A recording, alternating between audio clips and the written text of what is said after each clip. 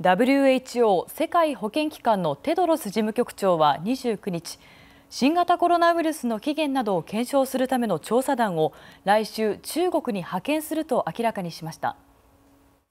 We will be sending a team uh, next week uh, to China uh, to prepare for that. テドロス氏は人への感染についてどのように始まったか分かれば今後どう備えればいいか分かると述べ起源を解明することが感染拡大の防止に役立つと期待しました。アメリカのトランプ政権は新型コロナウイルスが中国武漢の研究所から流出したとの説に自信があるとしてきましたが中国は起源は不明だと反発しています。